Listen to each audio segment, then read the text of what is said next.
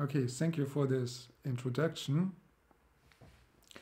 So this this talk is um, on the subject of asymptotics, and maybe most, if not all of you, ask yourself, what is this actually about?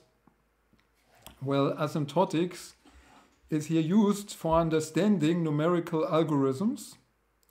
And if you now think this may not be the main your your main focus, yeah, please please stay here. So this is actually a multi-scale talk where you can follow the equations, or if this is if you think this is going to be too hard, you can also follow um, the the cartoon. So I hope everybody likes octopus, yeah, and then we'll see um, whether this works out fine.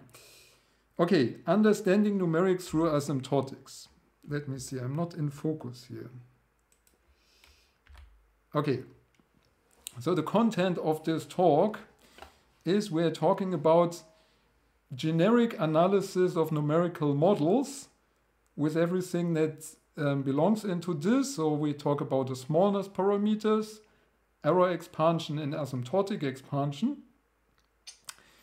We'll do everything together with an um, later with an um, example where we use the simulation of the diffusion equation which is nothing in particular. It's just an example for um, partial differential equation.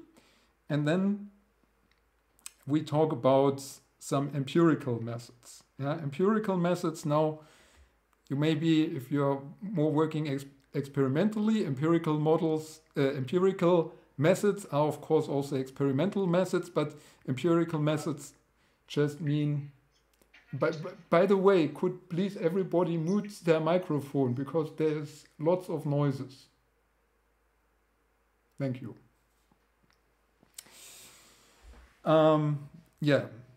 So by the way, talking about experiments, you may think, well, how how do we know um, that simulations are correct? So usually we'll have simulation and we have experiment and we see whether the experiment and the, the simulations, they give the same result and then everything is, then we are happy and everything is good.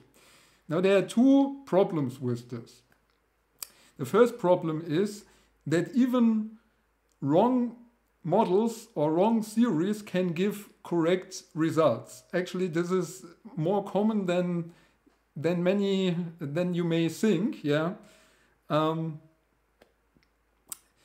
a simple example is that uh, the Newton, uh, the Newtonian mechanics yeah, is correct for all bodies in the solar system except of for Mercury. So there's a small error there, yeah, but still there's an error. So there's something is not correct. Talking about Mercury, um, now not the planet, but the um, the metal. The Schrödinger equation gives you the right um, state of the matter, so um, phase state, as a gas, solid or liquid, for all the metals in the periodic table except for mercury. So you see, things can be right even though they don't make any sense. So basically, as, as Lagrange saying here, if you if you believe in experimental validation, you should also believe that an octopus can predict can um, can predict the outcome of the World Cup because octopuses seem to be very successful in telling us who, who is winning the World Cup. So this is one thing. Even even if you get the same result out of an experiment on the simulation, this doesn't mean that either of them is correct.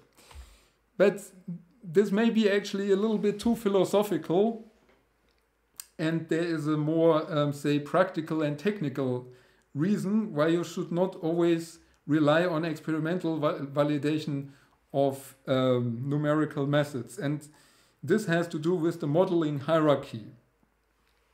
So the modeling hierarchy goes like this. We have, we have of course, our physical model, then we have an That, that would here, for example, be in pendulum. And then we have a differential equation that describes this, and this differential equation, this is a nonlinear differential equation because there's a sine in here, so we cannot solve it, so we have to do an approximation or discretization thereof, yeah, and then we have a numerical model, and then we have a computer code that solves this model, and then we have, through evaluation, evaluation of the model, we have a numerical solution. And now if you say we validate all of this by an by comparison to an experiment, the only thing that you would actually do is an end-to-end -end validation. Yeah. So you either see it's correct or it's incorrect, but because you're comparing end-to-end, you you will never see where the problem is. So what you really need is for every part of the modeling hierarchy you need to have a, a tool on their own to look just on this specific operation here that we are doing in order to see whether this is actually correct. So today we are concerned with, um, with this here, where we have a mathematical model, which is, for example, a differential equation, and we have a numerical model. And we want to see whether this numerical model is actually compatible, first of all, whether it's correct, whether it solves um, these, um, this mathematical model, and what are the errors that, are, that, we, that we make uh, with this numerical model. Okay, so this is, this is what we are talking about today. And by doing so, we first have to introduce what is actually a numerical model. Now we start from a mathematical model that we call F. And we, we say this, this model would now be correct, or whether it's, whether it's correctly describing um, your experiment doesn't matter. We, we, because we are just focusing now on this um, relationship between, between the mathematical model and the numerical model. So for us, this numerical model will be correct. And this what this uh, the, the, this mathematical model would be correct. And what the mathematical model does is it takes an input x and gives us an output y. So we call x the independent variable and y the dependent variable. And f is the model that takes x and gives y. So very abstract. Okay? Now everything is fine if we know how f produces y from x. But in general, like if we have a differential equation,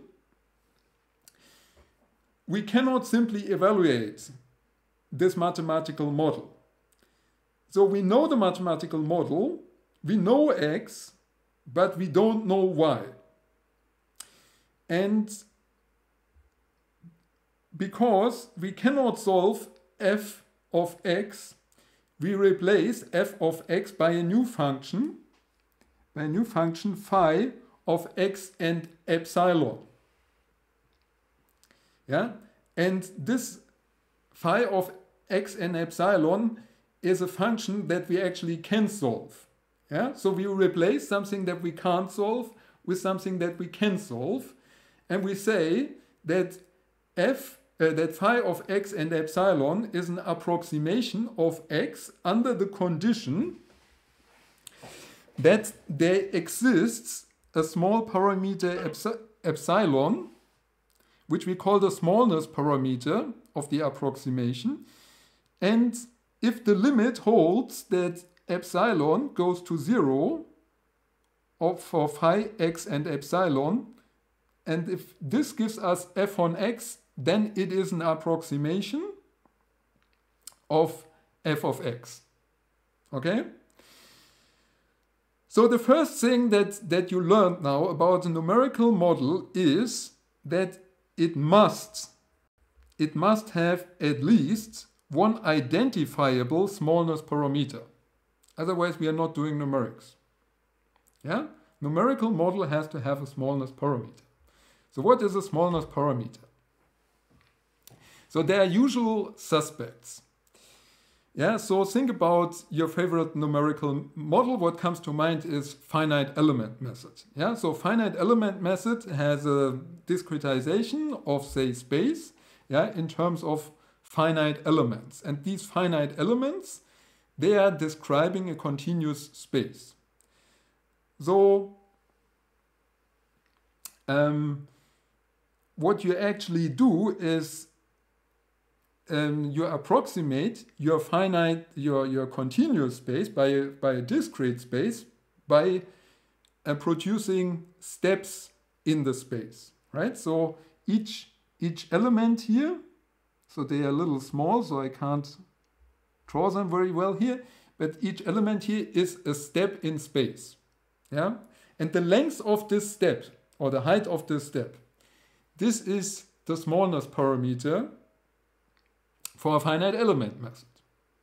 So there are of course other methods, yeah, especially time integration methods. So there you have the same thing, yeah, you have a time step, again a step.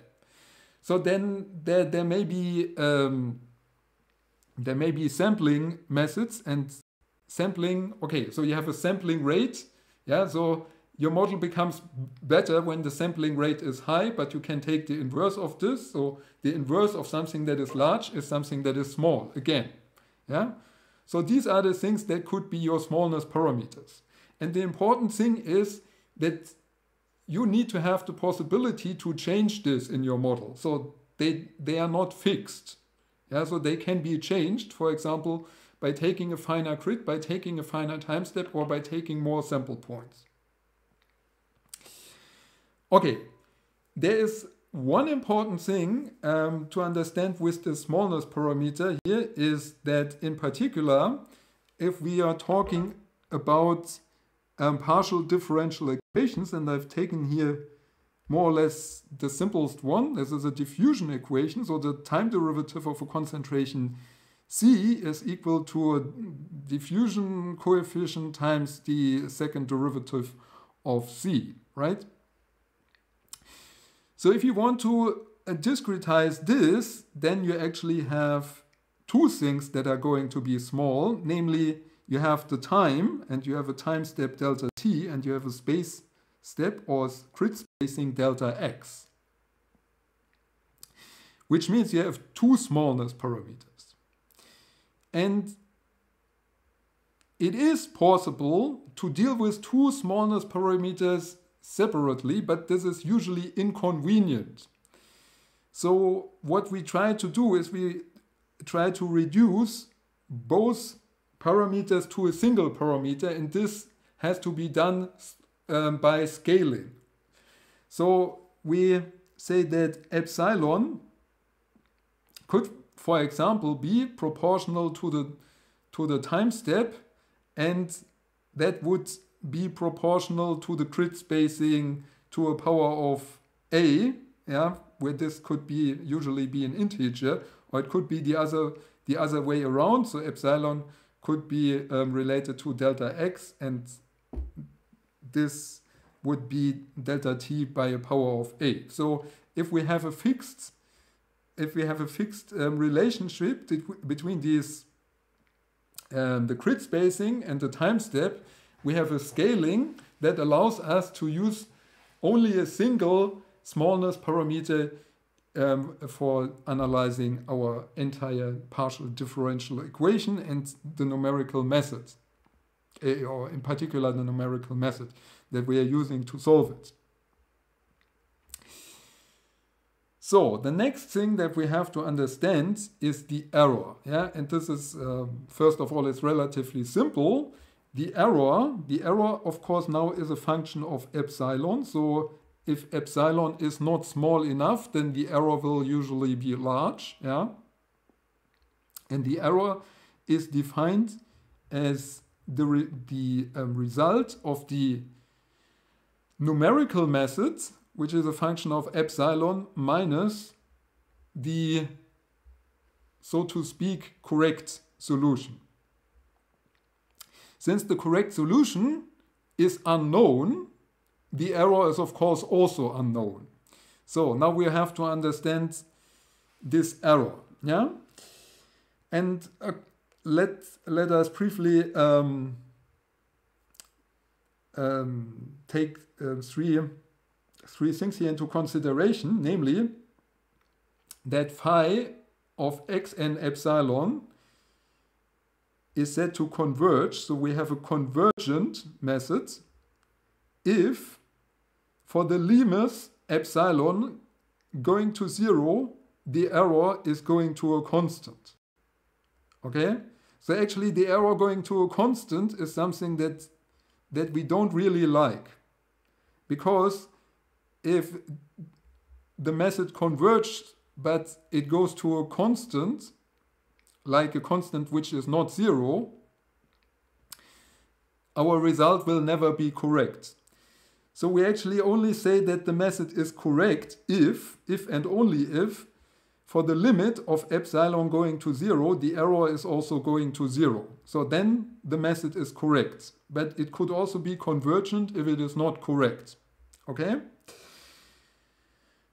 And now we say that um, phi of x and epsilon um, is now said to be an approximation of a specific order, namely the order n, if the error of the error of um, the, the error is the function is of order epsilon by the power of n.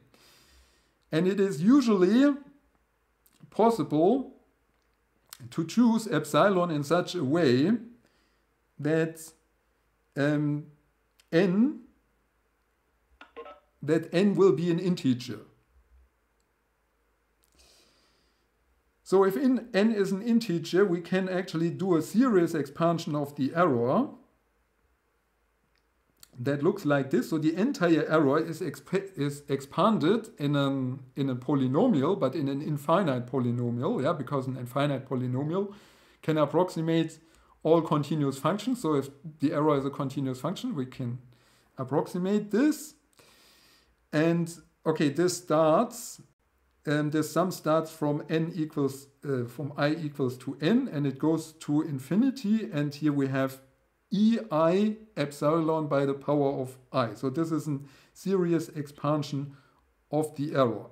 And now the important thing um, to know here is that the entire information of epsilon in this polynomial is inside this um, series expansion here and that e, e of i is not a function of epsilon. So there's no implicit um, relationship to the smallness parameter in here. So everything is in this expansion. Okay, I hope you are still following because this was now just um, setting up the stage, so to speak. Okay, now we want to determine our result epsilon. Epsilon is the result, um, sorry, um, y, yeah? we want to uh, obtain our result y, and y, of course, if we have the correct solution, y is f of x. And we do not know why, because we do not know f of x. What instead we know is our numerical solution, Why numerical, which of course is a function of epsilon, because it comes out of phi, x and epsilon, which means this is the correct solution plus the error.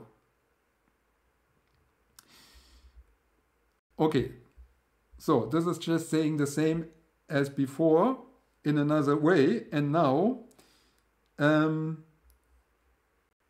we introduce something that is called the asymptotic expansion of the result. Yeah.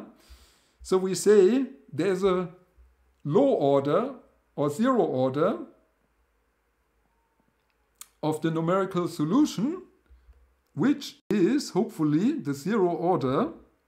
So the dominant part in this polynomial, the one that is no longer dependent on epsilon, this is the correct solution. And all the errors, these are higher order terms. Yeah, and they we call um, uh, with this nomenclature here y to some. So this is not a power. So this is this is the way we write an order um, of of this this term. So the lowest order, the order with epsilon by the power of zero, which is of course one.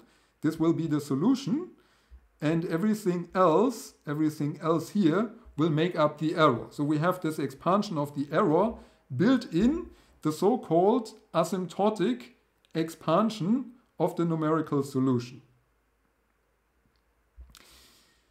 Okay, why are we doing this? What does this help us? Well, since we can use different epsilons in um, I mean, since, since we can change epsilon in our numerical methods, we can produce numerical solutions for different epsilons, so for different smallness parameters. And if we have different smallness parameters, yeah, you see that we can actually separate these terms and we can actually separate all of them one by one, but we need more solutions later. And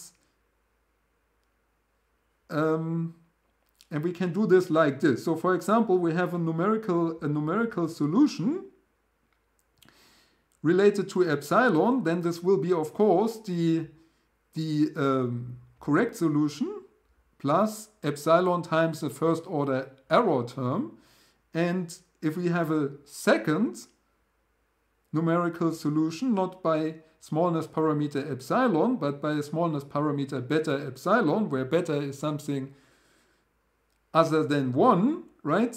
So we will have the same, the same solution plus a different error. But the, the error just, the first order error just differs from the first order error in the other case just by this parameter beta.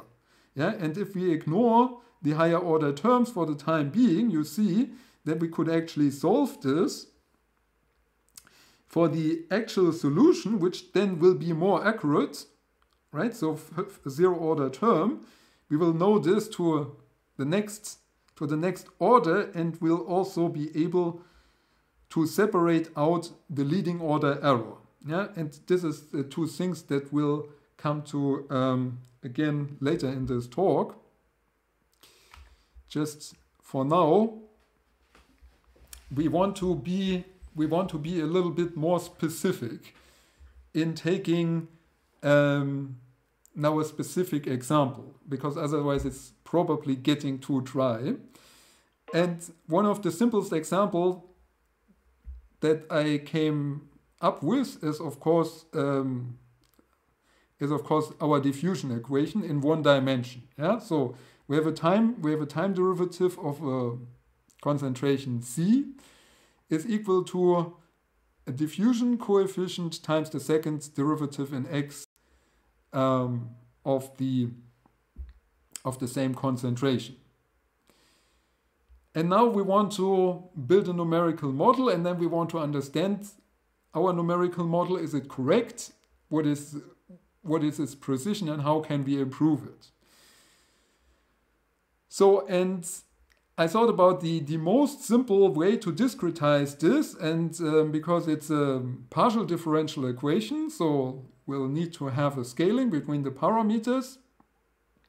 Um, the thing I, I did here is, okay, we have a second derivative in space, and what we can do is, I have to go, sorry, this was the wrong button. Uh, here. So we have a second derivative in uh, in space and we discretize this by a central finite difference in, in space. So we see we have a grid spacing delta x, yeah, plus delta x minus delta x. So this is the simplest way of discretizing a second order dif um, um, differential with finite differences. And the time, the time difference, well, we do this by simple Euler integration. So we take we just take that um,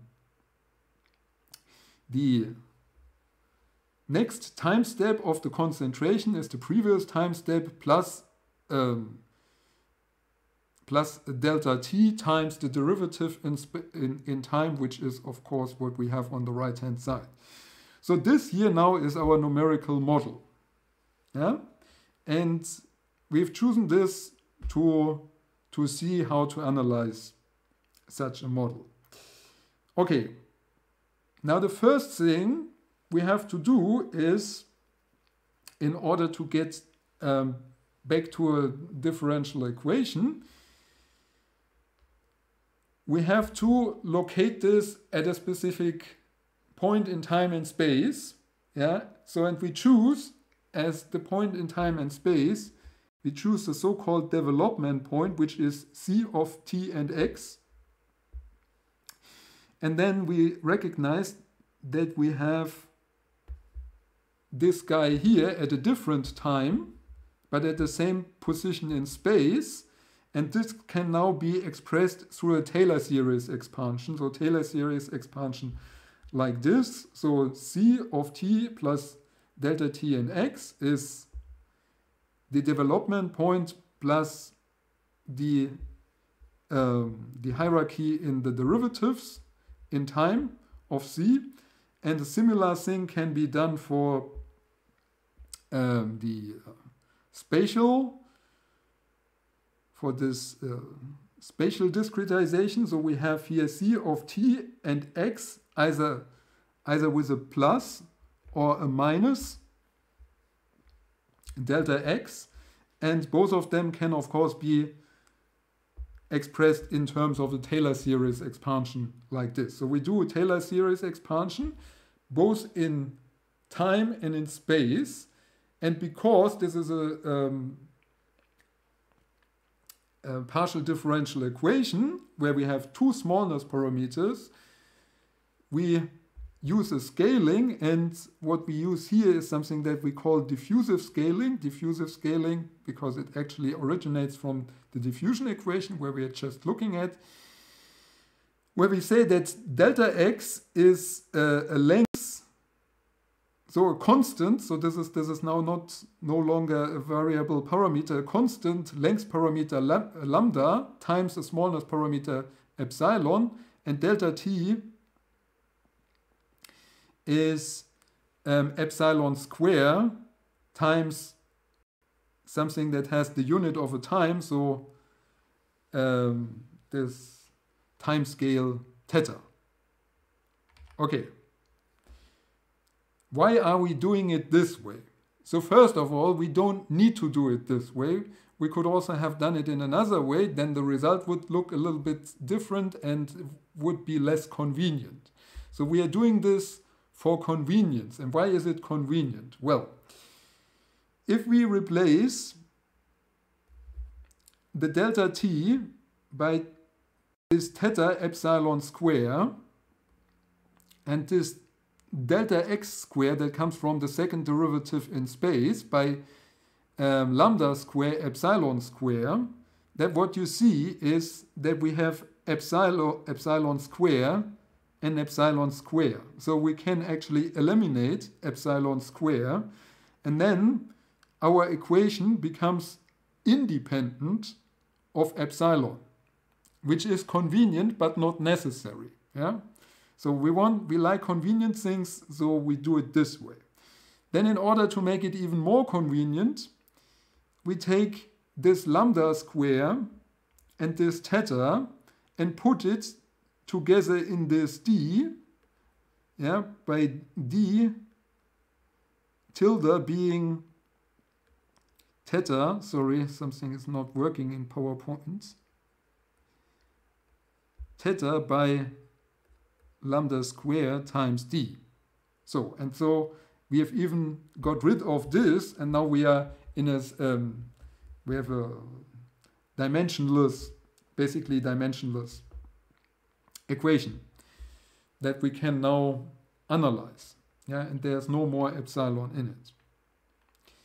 So epsilon will come back once we put the Taylor series expansion into the equation and admittedly, this is now going to look a little bit more complicated, but everything I did is I put the Taylor series expansion into the equation. So there we had two expansions in space and one expansion in time. And in addition, um, I replaced the um, dimensional time derivative and the dimensional space derivative by dimensionless time derivative and oh is this annoying? And dimensionless um, space derivative. Just for a little bit convenience. So usually we'll stop here and let a computer algebra system do everything else, but because this is now a talk, um, we do a few additional simplifications. For example, what we observe here is that we have um, c here and we have c here and minus 2c here and we have a c here and we have a c here. So we can eliminate some of these parts to get a little bit more convenient equation that looks like this. So now this is the Taylor series expansion and some people stop here and analyze the Taylor series expansion.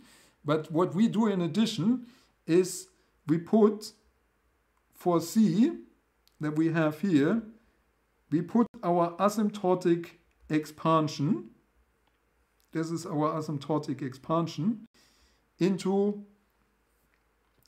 into this variable c. So asymptotic expansion, again, is the solution plus epsilon the first times the first error, epsilon squared times the second error, epsilon cube the third error, right? So this is this is simply the asymptotic expansion of this C. And we then put everything in, in the same sum. So this is nothing else than some additional simplifications.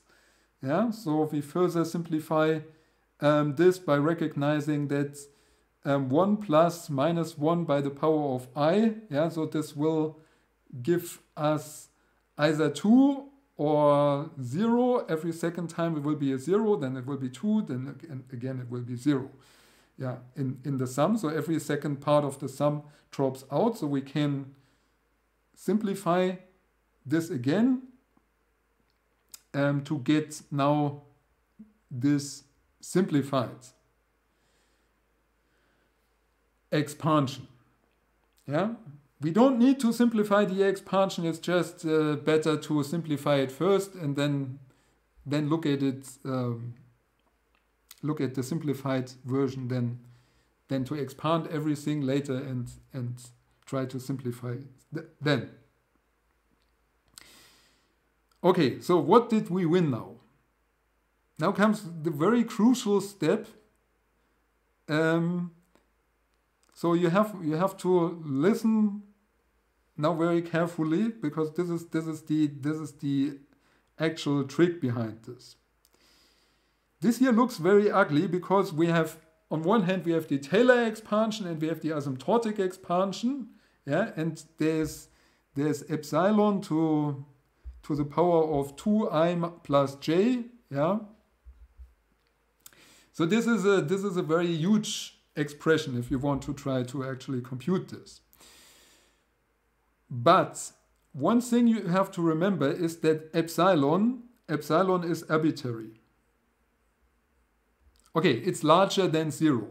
It's larger than zero, but otherwise it's arbitrary. So what, what you have here is a polynomial in epsilon, which is equal to zero, right? So in principle, you can write your polynomial like this, that you have an a plus an epsilon times b plus an epsilon square times c plus an epsilon cube times d and so on and so on and all of this is equal to zero. Right? So since epsilon is arbitrary and it is not zero, we know it is not zero. so it, this, this cannot be zero because epsilon is zero. And because it is arbitrary, and A and B and C and D are all independent of epsilon, this can be true only if all of these terms, so A equals to 0, B equals to 0, C equals to 0, and so on. Okay? So this is called equating coefficients. Koeffizientenvergleich in German, right? So what's, what we do now is we actually expand this equation here and then we group all terms that have epsilon that are multiplied with epsilon to the power of 0 and all the terms that are multiplied with epsilon by the power of 1 and all the terms that are uh, multiplied with epsilon by the power of 3. And all of them have to be 0 individually. Yeah? And this now helps us with this asymptotic analysis because if we look at all the terms in this equation here that comes with epsilon equal to with epsilon to the power of 0 so with multiplied with 1 we get no term yeah so this is we get 0 equal to 0 and this is correct yeah also if we look at epsilon by the power of 1 there will be no term of epsilon by the power of 1 in this expansion, so this is also correct. If we look at epsilon by the power of 2, we finally get to actually a result. And this result looks like this. We get the lowest order, the time derivative of the lowest order of c minus the second derivative in time of the lowest order of c. Okay? And what you discover now is that this here is nothing else than the equation that we wanted to solve. Right? And then we go on epsilon to the power of 3.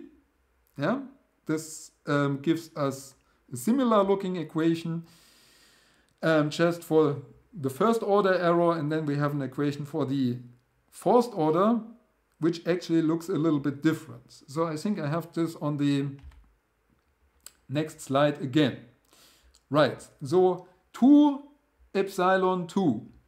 What we get is the so-called target equation. The target equation is the equation that we want to solve, right? So now we discover our, our method is correct because at the leading order, it gives us um, it gives us the partial differential equation that we wanted to solve. Okay? So at the, at the first higher order, so the third order in that case, we get an equation of, of the first order error. And this equation of the first order error just happens to look exactly like the equation of the, of the actual solution. And this is why we call this a neutral PDE.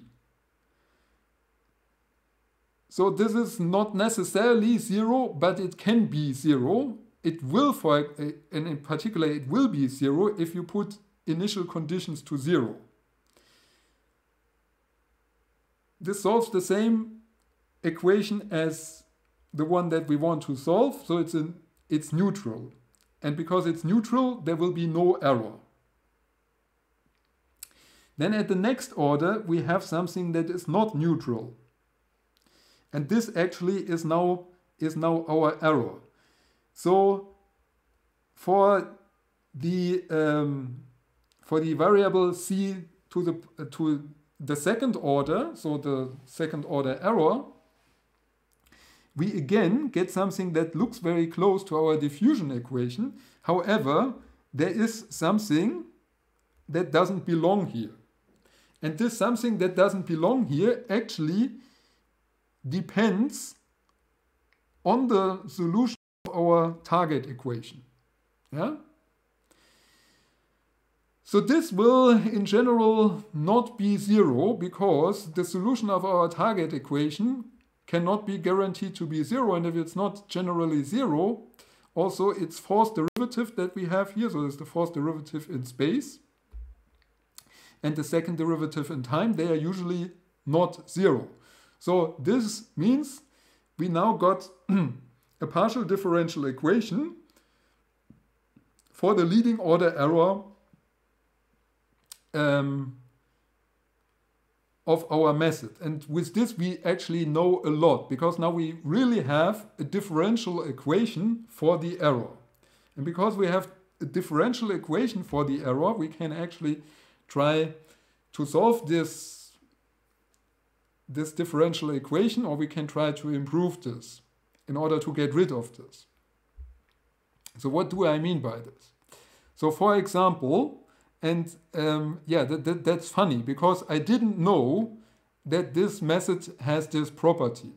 So maybe nobody knew that this, this method has this property, and this is probably a new discovery that I found just for preparing this talk. But let's see what it is. Um, what, what makes our life a little bit difficult here is that we have both um, derivative in time and the derivative in space. Yeah. So now I propose, since we know what the zero order of C is, because this is the this is the known solution, yeah, this is the partial differential equation that we want to solve, we can actually replace this. So we because we know that our partial differential equation looks like this, so we have the time derivative of c equals to um, the um, diffusion coefficient times the second derivative of c. So this means that the time derivative, that the second time derivative of c is of course the first time derivative of the second time derivative of c, and we now can exchange the order of the derivatives and say this is the second spatial derivative of the time derivative of c. Yeah, so these are spatial, spatial, time. And the time derivative of c is, of course, again the second spatial different, uh, difference of c. So this actually becomes d square times a fourth derivative in, in space of the solution of the target equation. Okay, so now we have eliminated um, the time from this and we have taken everything to space. And this is useful here because this is a, a, relatively simple partial differential equation. It could also be reasonable to eliminate spatial derivatives and turn them into temporal derivatives. Yeah, but here we did it the other way around. So, and now since we know this, we can actually plug this into um, into our error equation and now we come to our funny discovery that I was not aware of before. Um, if we look at this thing here, we notice, well, okay, this could be zero. Yeah, and this is actually not too uncommon. Yeah, so this is something that in numerics we call a magic, a magic parameter. Yeah, so this method is usually second order accurate. However, there may be some parameterization of the um, dimensionless um, diffusion coefficients, which we can change by scaling, of course, which turns the leading order error to zero. And this would be the case if this d is equal to 1 over 6. Okay, so we, we you know, we, we this, this was just falling into our lap here, right? Okay, so this is this is an interesting outcome of this asymptotic analysis, and this actually tells us how we can improve our method. Now we see that there is a um, spurious first order derivative in in in our equation that is multiplied by by a factor um, d d square half minus d over 12 and what we now, what we can do now is we take our numerical uh, method, which is the one written in the first line here, and we simply subtract um, we simply subtract this first order derivative. Yeah, because we know this appears in the equation and it doesn't belong there. So usually you would say, okay, this doesn't belong here. You're no, no longer solving the equation that you're supposed to solve. However, if we do this, we're actually solving the equation that we are supposed to solve to a better degree. Yeah. So because still our leading um, order result is correct and what is going to be correct on top of this is the next two orders, namely the order 4 and the order 5. And now um, now the interesting thing is we actually we actually eliminated not not one order in the error, but we eliminated two orders in the error. This is this is due to the fact that this kind of methods usually only have um, even order errors. Okay. Now we come to the uh, yeah. So this this was a lot of theory, and now you you may wonder whether this is actually whether we can actually check whether all of our calculations are correct. Yeah, and for this we want to um, do it more or less by experiment, not so much by by another analysis. So again, yeah, we should be able to see in an experiment that our analysis is correct. And um, for this, we, we want to derive a method that shows us whether we actually get the predicted order of convergence or not. And here we start again with the asymptotic expansion of the numerical method, which of course looks like this yeah, starting from n when n is the order when n is the order of of the method. So this is an infinite sum which is difficult to handle and because it's difficult to handle we approximate it by by an error term EQ epsilon by the power of Q, where we say that epsilon, that EQ epsilon by the power of Q is an approximation of the leading order error plus, of course, some correction. Yeah. So this n would this n would always be an integer. Sorry, I don't know why this happens this n would always be an integer, but q is no longer an integer because it's only an approximation here thereof. Yeah? But we usually expect that it is very close to an integer. Yeah, so what is close to an integer? So 1.99 is of course close to an integer. 1.5 is not close to an integer. 1.7 is also not close to an integer. So if um, if we see that q is not close to an integer, then we have not resolved our method very, uh, our, our um, simulation very well. So now this is our approximation of, um, of the error now. And what we see is that we can actually measure Q, Q by looking at three different simulations. Why three different simulations? Because we have three things to determine. We have the actual solution to determine, we have this constant, and we have Q. So there, there are three unknowns, so we need to have, um, of course, three equations, and these equations better look like this that we can actually solve them analytically. We can also solve them numerically, but um, if we want to solve them analytically, what we usually do is we choose the smallness parameter like this. We have one epsilon, then we have beta epsilon, and then we have beta square epsilon. So if we have beta square epsilon, and you see this will always turn up here in the error term, we can do the following. We can eliminate the actual solution, which of course is something that we don't know, by subtracting equation 2 from equation 1. And we can do the same thing by subtracting equation 3 from equation 2. So then we have eliminated these things. Then in equation 2 minus equation 3, we can take out beta beta by the power of q, and then what we are left with is the same thing that we have for the first equation.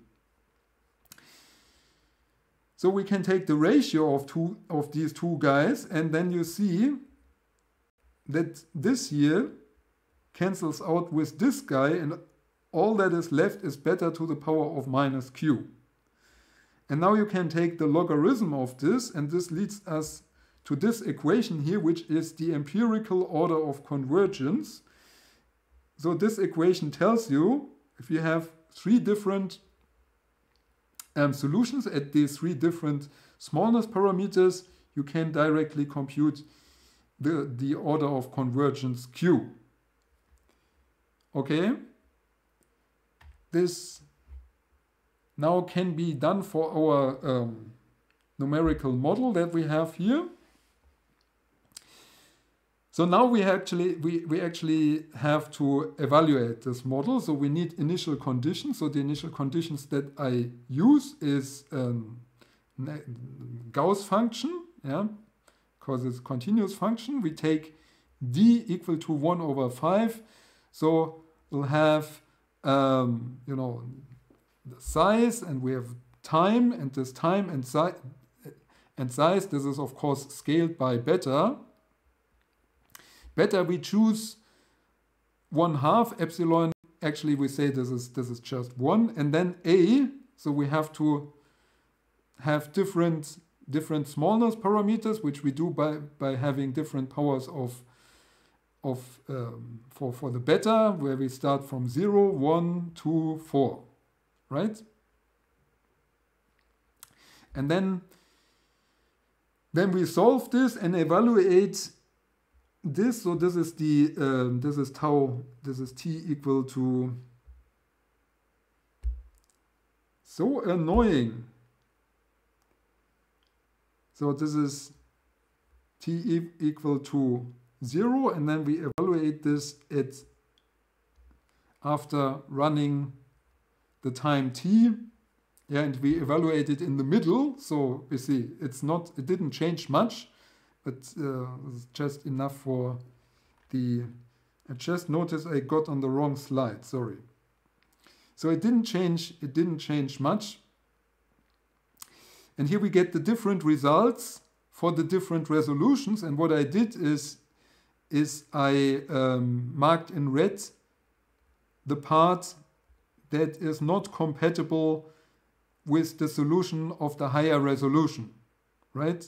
So this is more or less, um, you know, the, the amount of digits that the solution is correct. And we see here we got four digits correct at the lowest resolution and we get something like one, two, three, four, five digits correct at the highest resolution here. And if we put everything into here, we see that we are reasonably close to an integer and we actually get second order convergence for this q because this is very close to 2.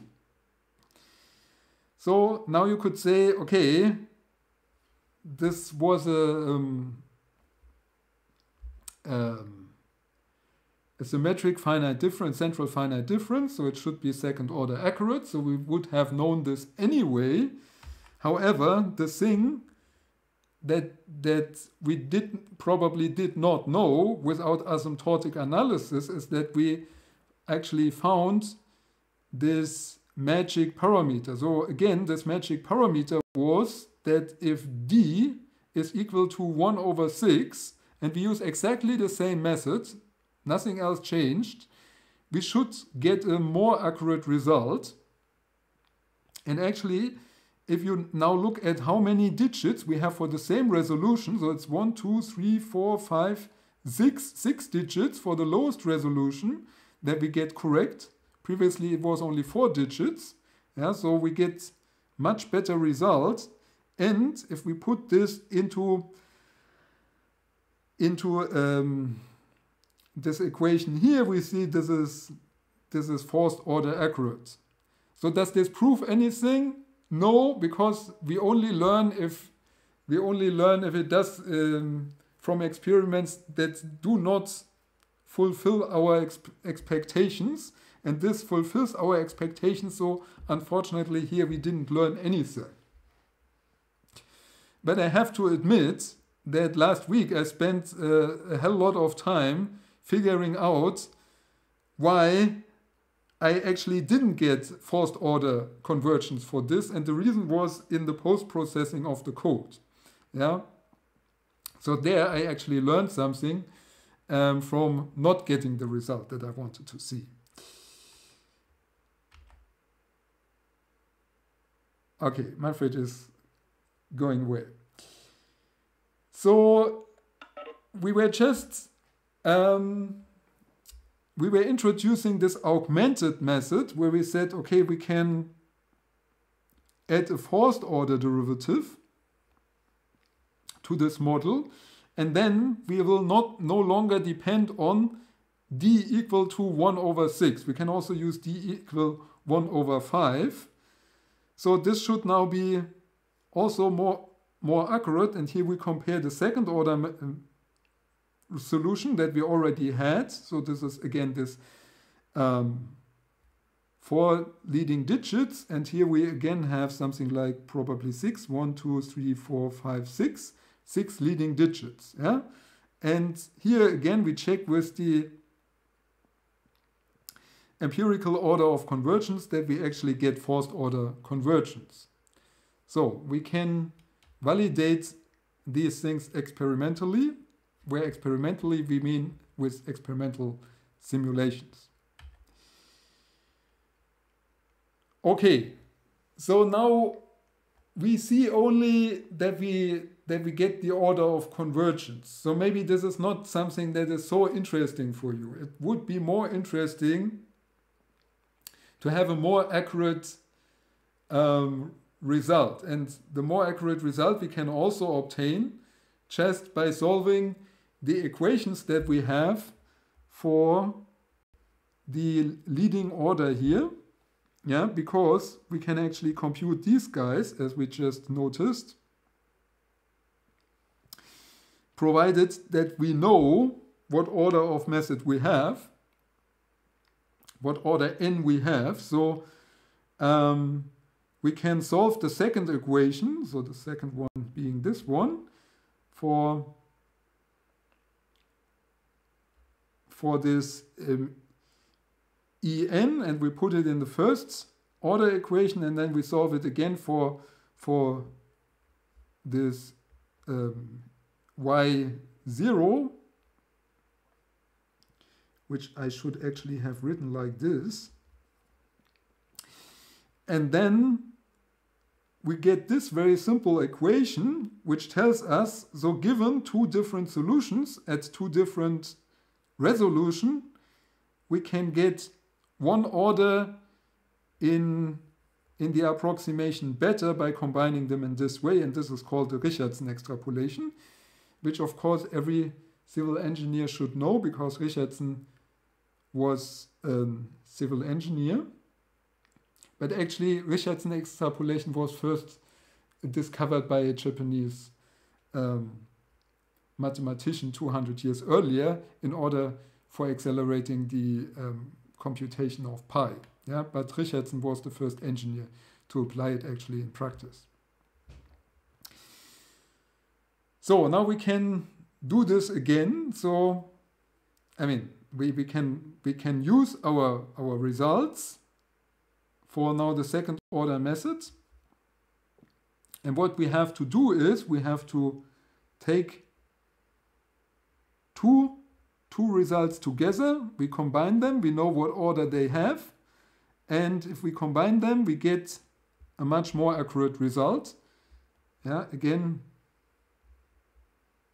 we can combine these, we get this result, and here again, I compared the digits um, from the previous Richardson extrapolation to the next Richardson extrapolation to see how much, how many matching um, digits we get. And that would basically be the accuracy to which uh, we have the actual result. Okay, and now you see I've taken four of um, four solutions of the original model so that I can do three Richardson extrapolations. And with three Richardson extrapolations, I can again compute the empirical order of convergence. And I find that this empirical order of convergence is again forced order, where I have to point out that it, even though it's forced order, it is um, the deviation from actual forced order is, is larger than if we have a real forced order method, right?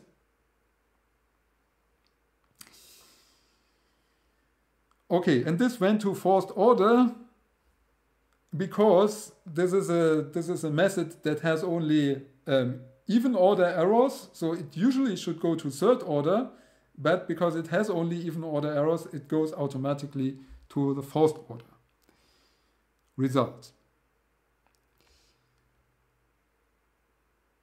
So, for this, we need to know what n is, but we can also compute n by means of the empirical order of convergence, right?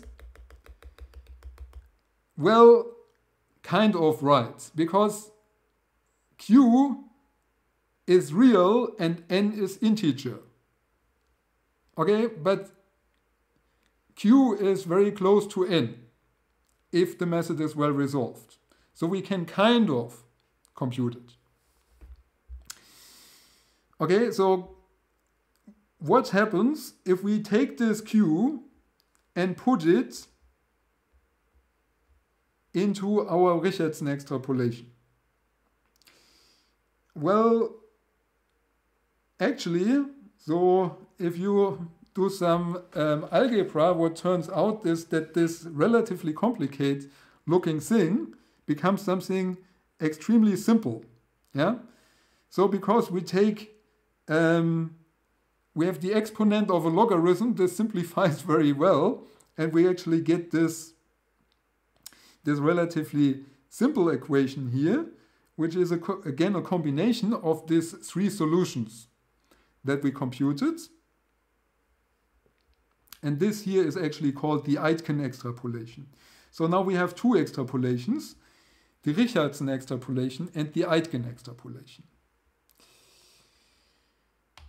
So the Aitken extrapolation, of course, this needs three results because it is um, it does not take the theoretical value of the order of convergence n, but it computes the order of convergence q yeah, the empirical order of convergence, which is real instead of the integer n.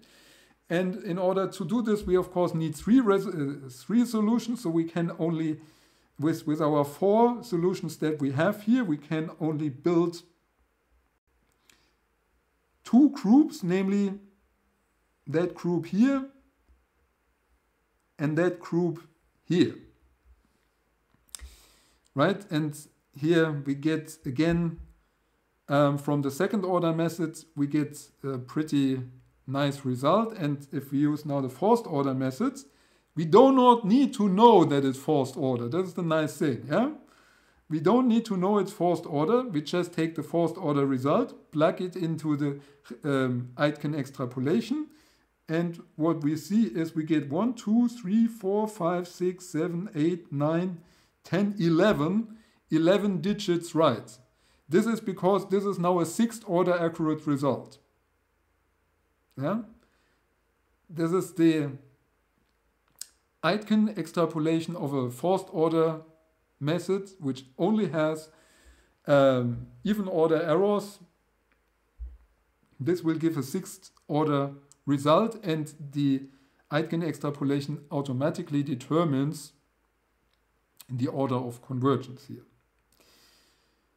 Okay, we are coming close to an end, but there is one there's one important um, last thing to consider. And this question could now be, should we use Richardson extrapolation or Aitken extrapolation? How do they actually differ now? And the, the only difference, in principle, the only difference is that in the Richardson extrapolation, yeah, the Richardson extrapolation with the theoretical value of, of the convergence n, n is an integer, and q is real. So this is the difference. Now what I'm doing here is I'm considering the residual error of the Aitken extrapolation and the Richardson extrapolation, and I take a ratio of these errors. Okay? Ratio of these errors. So we have the Aitken extrapolation minus the solution, which we do not know. We have the Richardson extrapolation and the um, and the actual solution, which again we do not know. So both of them are the are the errors. And this is now the ratio of the errors.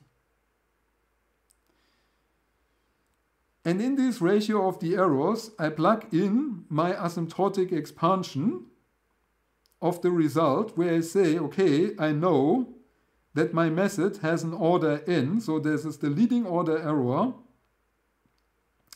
is, is of the power n. And then there is a next error, which is now of interest because this guy here will be eliminated, right? So, and this here will be the next error. So what we know is that m, oops, m is larger than n and both are integer, but we do not know what m actually is. And then there's of course the higher order terms. So if we take this and plug this in this equation up here and do some pretty annoying, I have to say, pretty annoying algebra, we get to a very simple result, which is again an expansion in the smallness parameter, however, which is only first order accurate.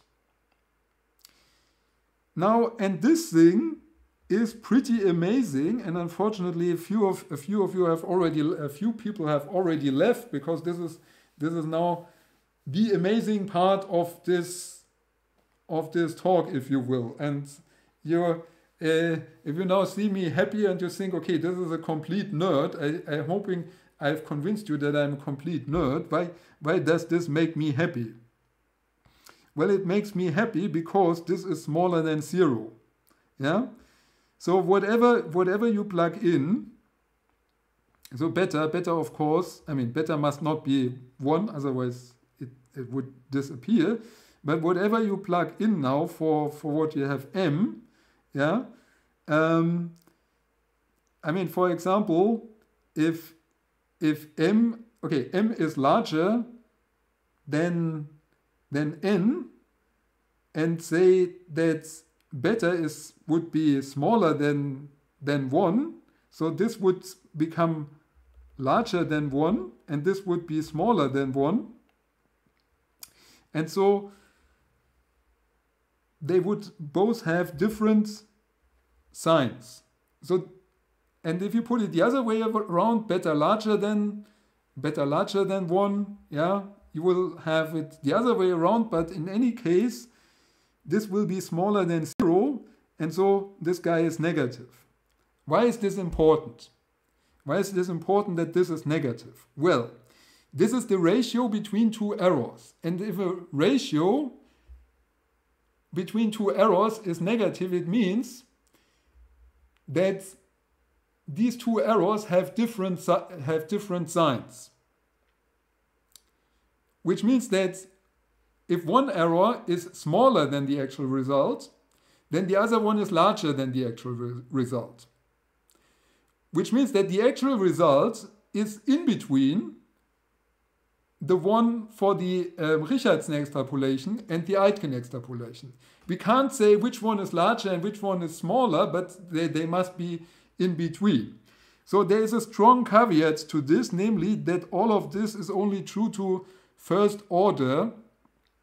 And actually, if your system is not well resolved, this order, this order epsilon can actually be pretty large. And unfortunately, in reality, this is not this is not always smaller than than um, the actual term that we are interested in. But let's have a look what happens here. Okay, we take as a reference the most accurate result that we have, and the most accurate result that we have is the i extrapolation of the first order method. Yeah, so this this is this is now this is now supposed to be very close to the actual result. And then we compare the Aitken extrapolation, which is this here, and the Richardson extrapolation. And I've put this into the following graph. So I subtract our best guess for the solution. So our best guess for the solution is here in the middle. And here I've drawn the Richardson extrapolation, which comes from below. And here I've drawn the Aitken extrapolation from which comes from above. And indeed, the real result is in between the Richardson and the Aitken extrapolation.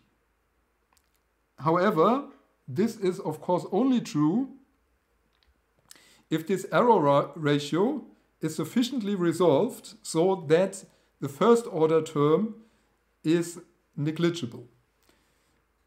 And this is not necessarily the case. Okay, so this, how long did I talk? Yeah.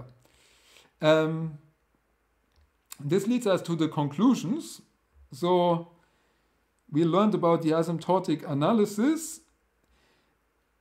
What, what this gives us is it provides us with, with um, equivalent, what we call equivalent partial differential equations for the error. So we get exact equations for the error terms. The good thing is, in comparison to other numerical analysis methods, it does not require on linearity. So we get we can do this for linear equations and for nonlinear equations. And it is algebraic, so we can use generic parameters, which also is very helpful in for us for discovering something like magic parameters, where we see, oh, our method has has some parameters that we can put in a in a certain way so that the error um, that we want to get rid of just disappears. Yeah, so this is this is something that we can do directly with asymptotic analysis. So if you still think this is this is probably not what I want to do with in my life, but what is still very uh, very useful are the empirical um, methods like the empirical order of convergence and the Richardson extrapolation because they do not require any theoretical knowledge of your model. Yeah, your model can be a black box. The only thing that you need to know is what is your smallness parameter and how to change your smallness parameter. If you can do this, then you can compute the order of convergence, you can do the Richardson extrapolation, and you can do the Aitken extrapolation. And the very interesting thing here is that if it is asymptotically well resolved, your problem, then your correct result will be located in between what you have as the Richardson extrapolation and the Aitken extrapolation.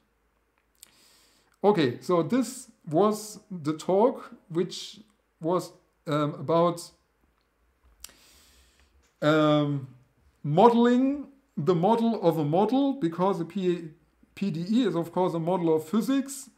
A numerical method is a model of the numer of the of the PDE, and the asymptotic analysis is um, a model of the numerical model. So it is a third order model, and this brings us to the end. Thank you very much.